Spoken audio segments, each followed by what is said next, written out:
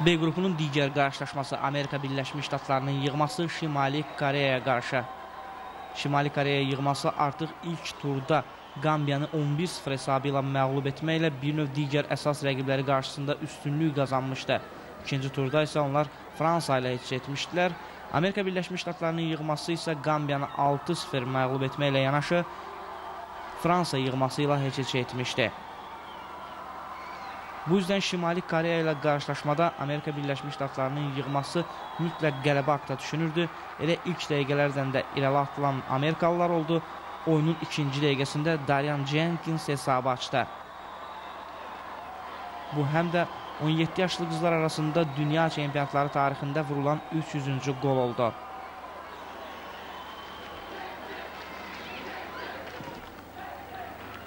Ancaq Montayanın yetirmələrinin sevinci çox çəkmədi. Cəmi 2 dəqiqə sonra Şimali Koreya rəqib qapısına yol tapmağı bacardı. Komandanın liderlərindən Riun Sim fərqləndi. 1-1.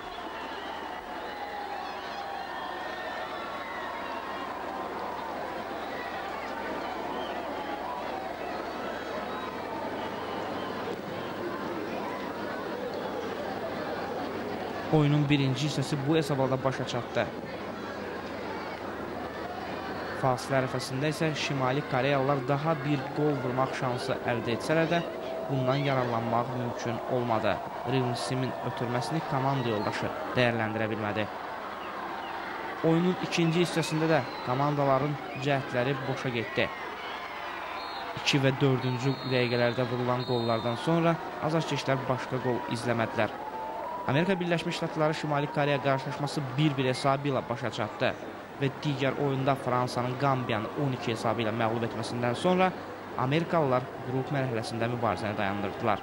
B qrupundan növbəti mərhələyə Şimali Koreya və Fransa yığması vəsiqə qazandı.